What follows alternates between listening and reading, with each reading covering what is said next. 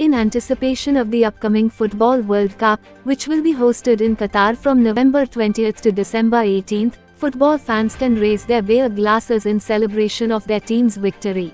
Before and after games, as well as at the official FIFA Fan Festival at night, fans will be able to purchase alcohol inside the stadium complex.